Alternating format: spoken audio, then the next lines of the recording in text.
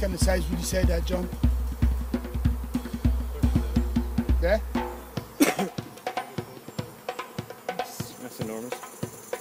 Good size hive, really. So eventually they'll all start to work their way back in again. Is that the idea? And No, then but they, they, no, they're all going to go in there. yeah. And uh, when that when it's pretty dark, you not see anything. Everybody will be inside, tucked in, be able to come up with a cloth, put it on top of the cloth, wrap it up, and bring it home. When John opened, what he does, he just open the cloth and, and walk the, the, the cloth to the hive. Yeah. And you open the lid and they just all walk in it. I think like last year, open the hive and shake them in and close it. Run. No, no, you don't even because they just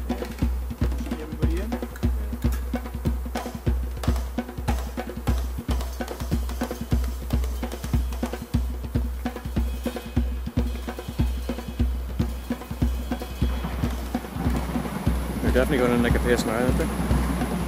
They're going in at a pace now. Oh, yeah, yeah, yeah.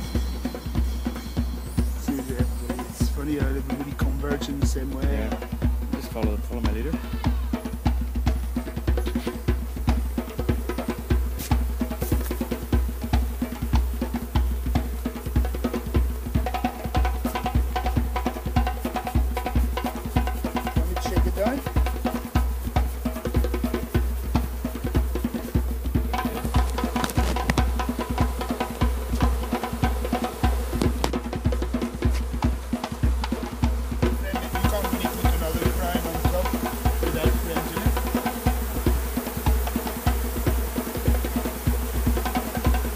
Very quick actually, wasn't it? To go in.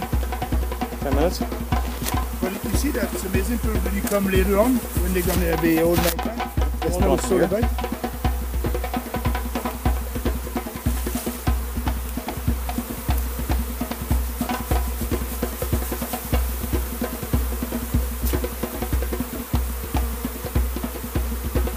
Oh, that's a good way of meeting the bees, really. Absolutely, that's perfect. Well, I'm delighted, delighted to have that opportunity. Instead of cheesecake making. Some of